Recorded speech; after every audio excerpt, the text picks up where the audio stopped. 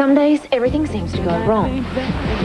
You sleep in, nothing fits, and then there's the traffic. So, your stress levels rise. Now, why does stress always happen when you're on a diet? Hmm? hmm then you have to worry about the relationship, the kids, the boss.